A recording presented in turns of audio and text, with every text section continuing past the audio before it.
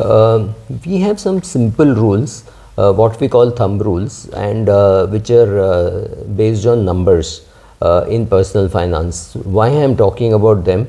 First of all, none of these are uh, written on stone that you can't uh, deviate from that.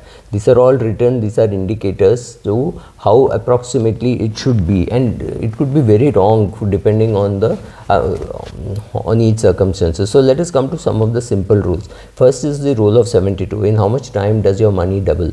So if you are getting 12% interest, then the uh, money will double in uh, 6 years. If you are getting 6% interest, you the money will get will double in uh, 12 years, right? So 72 divided by 12 is 6, 72 divided by 6 is 12 and I believe that for this exam for this rule everybody gives you the same numbers which is 8 and 9 if uh, inflation in the country is 8% then your money will uh, or if the interest rate that you're getting is 8% then the money will double in 9 years.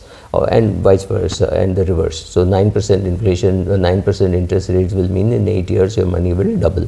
So the rule of doubling so similarly there is a rule 144 also which is the rule of tripling. In how much time does your money triple? If your rate of interest is 12% then 144 divided by 12 is 12 years. So in 12 years your money will triple. So this is a basic rule. These rules don't change for anybody whether you are a scientist, whether you are a driver of a scientist or whether you are the uh, bureaucrat controlling the scientist. For all of you it is the same answer, right? Then there is this rule of 70 which tells you that uh, if inflation is 7% then in 10 years the value of your money halves.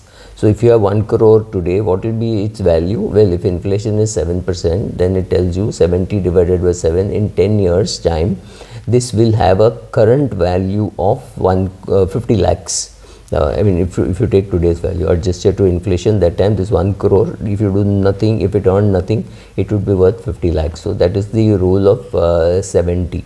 There is the other rule, which is a rule of um, retirement. How much money do you need for your retirement corpus? Now, this is again uh, it's a simple rule which says 30 times your annual uh, expenses at the time of retirement. Now, if you retire at the age of 60, uh, you require say 30 years expenses. So, let us say your expenses are about 10 lakhs a year. So, you need about 3 crores. If your expenses are 5 lakhs a year, you need one and a half crores.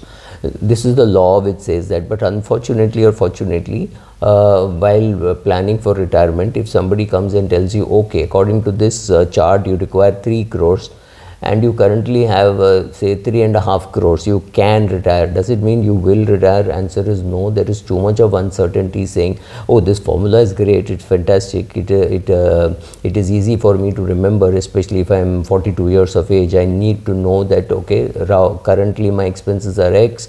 X will double at least twice at 60 so currently my expenses are 4 lakhs per year it will become 8 lakhs 8 lakhs will become 16 lakhs. So 16 lakhs into 35 crores approximately 4 crore 80 is what i will require for retirement.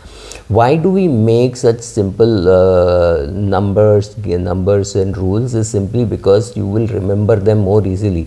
So if I tell you money money doubling 72, money halving or uh, inflation impact on your portfolio is a rule of 70, uh, then money tripling is rule of 144. How much you require at retirement is 30x your annual expenses. Somebody could say 25, somebody could say 35. I'm not getting into that.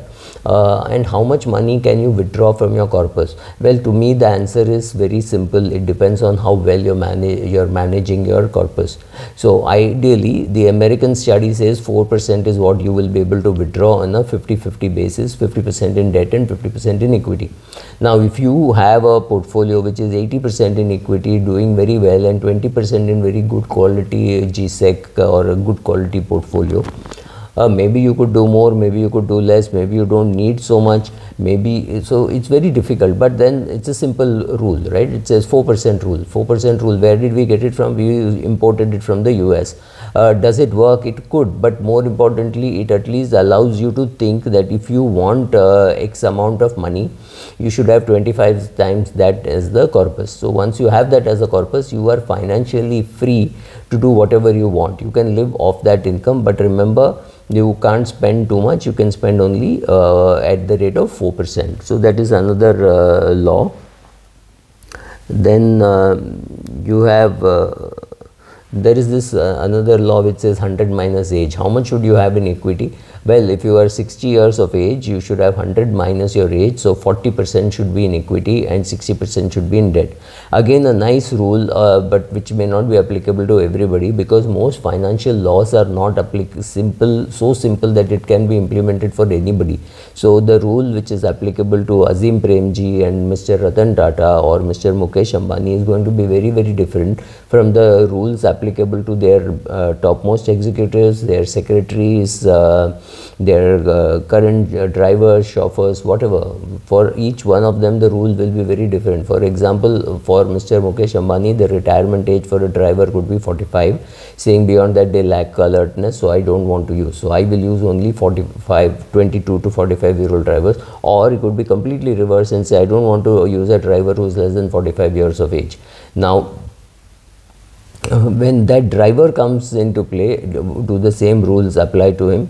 well I don't know the same whether the same rules apply. Similar rules can apply but then the, the amount of money that a person really requires and the amount of money that a person uh, uh, has and the, uh, how much of understanding based on all this. For example, I've always said if Rakesh Jhunjhunwala and uh, Niranjan Hiranandani woke up with each person's uh, portfolio interchange, both would have been alarmed saying, oh my god, what am I doing with so much of real estate? And Niranjan Hiranandani would have said, what the hell should I do with my Titan shares, right? So uh, this, it works, 100 minus age works, but uh, for each person the answer could be slightly different. Then there is the uh, insurance rule. How much insurance does a person need? Well, if you're an insurance salesman, you will say, uh, sir, you need 20 times your annual expenses. Now, is this right? Uh, yes, it is right at a, at a very young age. If you're uh, 22 years of age and earning about 4 lakhs, um, well, a 20 times uh, portfolio of insurance of 80 crores, uh, 80 lakhs to 1 crore is not such a bad uh, number to target. But if you're 30 years of age or 40 years of age and you're earning very well, say you're 40 years of age and you're earning a crore, uh, does it mean you need 20 crores of uh, term insurance? Answer is no maybe no because your uh, and again the answer will depend on whether your wife is working whether the, the how old the children are etc etc at that stage you take a call as to how many times you require but the norm which you will hear is anything from 10 to 20 uh, at uh, 55 years of age uh, and let's say you're earning 2 crores and you have no dependents your wife is also earning very well uh, the the 10 times rule says okay you need 50 crores of insurance. Answer is yes that person is an insurance salesman and you don't need so much of insurance but these are the rules so we will go by the rules then there is this rule uh, of uh, 50 30 20 rule which says that 50% uh, will go to your needs including uh, uh, your groceries, rent, your EMI that you pay, etc. 30% uh, will go for wants, entertainment, vacations, and gifts for people, friends, etc. And 20% should be saved. So 50, 30, 20. Each person can tweak as they wish, but 20% seems to be a sacrosanct. You should not be changing that for all your goals put together. 20 is less because 10% is what your retirement itself is going to take away.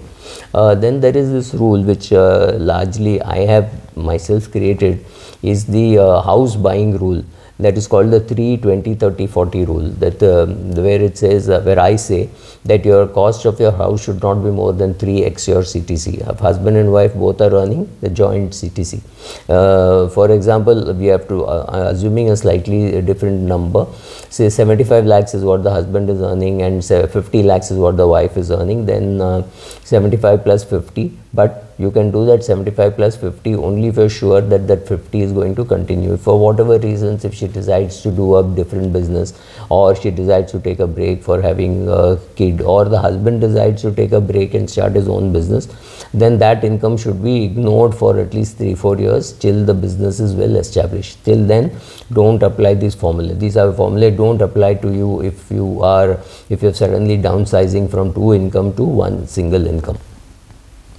how much uh, should you have as an emergency fund? Again um, the rule is you should have 6x so if your monthly expenses are x you should have 6x as a uh, as a emergency. But the thing is again the question is uh, these are nice rules to follow but the rules may be very different for a rich boy and a poor boy if the parents themselves have keep a keep a lot of money for emergency the son knows that he can call up his dad and say dad i want some money please send it.